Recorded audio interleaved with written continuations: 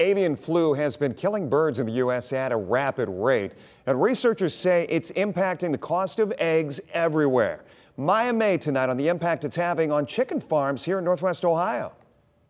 Samantha Poulson is a hobby farmer who started raising chickens to teach her two daughters sustainability. Healthier for me, healthier for my family. I started it for my kids to learn responsibilities, taking care of animals. She then started selling eggs to her neighbors, and then as store prices rose, she found it hard to meet the demand in her neighborhood for freshly farmed eggs. Prices in the stores are just ridiculous right now. I mean, $4 for a dozen, and that's just the caged chickens. You're not getting the free range with all the vitamins in them. Usually, when the demand goes up, so does the price.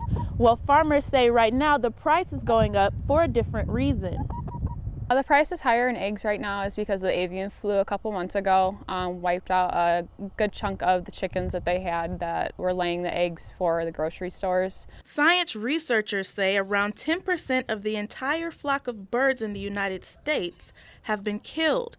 They say it only takes around 24 hours for the avian flu to kill a chicken.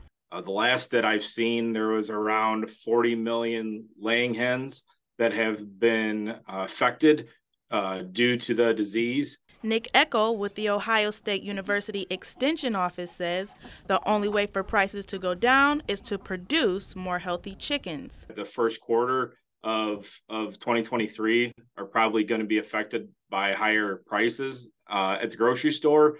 Um, I think as we start to fill uh, those barns back up and we restock them barns, we will eventually start to see um, it slowly, um, gradually decrease the price. But until that happens, farmers like Poulson will work to keep up with the driving demand from their friends and neighbors.